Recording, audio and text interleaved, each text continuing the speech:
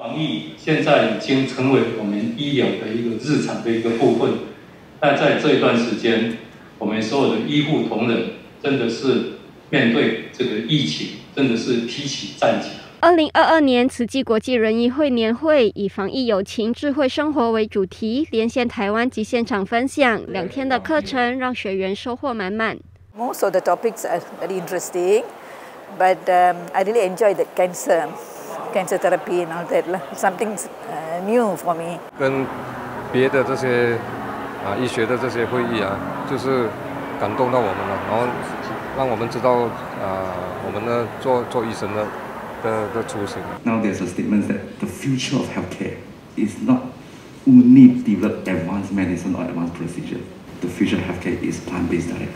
雪龙分会分享健康二十一挑战计划，从医疗的角度讲述素食的重要性，让医护人员了解全植物性饮食的力量。那个呃 result 是很大的分别哦，这个是我从事这一个行业哦，是很少见到的。Within 十四天里面，To end poverty, we need to take care of the illness first, and if the sick cannot come to us. then we must go to them.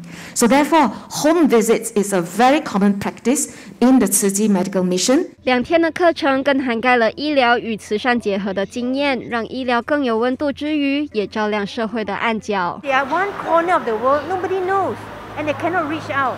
And there are so many people who wants to help but don't know how to help. So by just one person raising the awareness, everybody can chip in.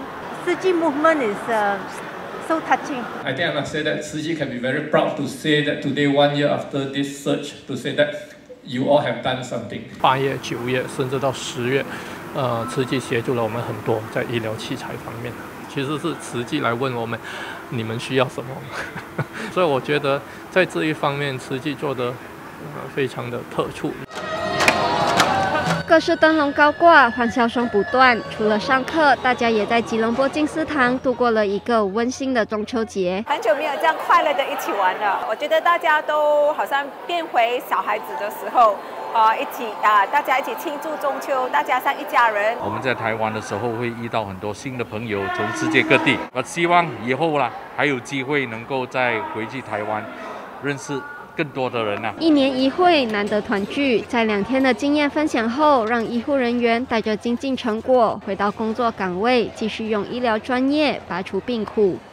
麦大爱吉隆坡综合报道。